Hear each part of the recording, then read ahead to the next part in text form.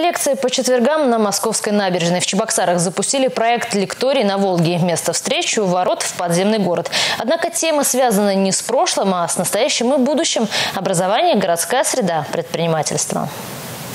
Что для нас удачное будущее, куда выпущен ребенок?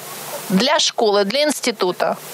И можно ли чему-то научиться у детей? Этим вопросом задались участники лектория и первый спикер городского проекта Инна Исаева, директор пятой гимназии. Об образовании здесь говорили открыто, совместно обсуждая проблемные вопросы.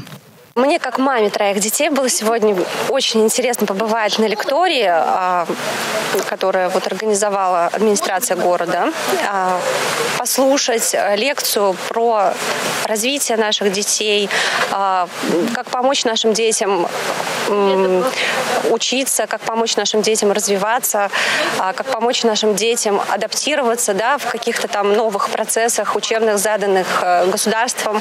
Организаторы обещают проводить встречи каждый четверг в 6 вечера. Это будут не только лекции, но и площадки для обмена мнениями и общественных обсуждений. Кроме того, актуальные инициативы горожан будут поддерживать и развивать максимальное вовлечение жителей э, в вопросы развития города. Да?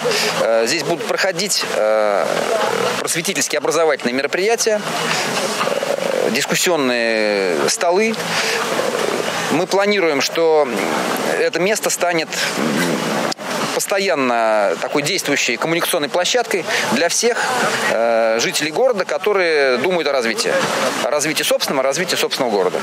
Каждый четверг новый лектор. На следующей неделе планируют продолжить тему образования с ректорами вузов. В числе приглашенных экспертов и крупный федеральный предприниматель Игорь Рыбаков, дизайнеры и блогеры из разных регионов страны. Стоит отметить, что все лекторы выступают на общественных началах в рамках концепции «Друг города». Ирина Волкова, Татьяна Раевская, Бахтияр Велиев. Республика.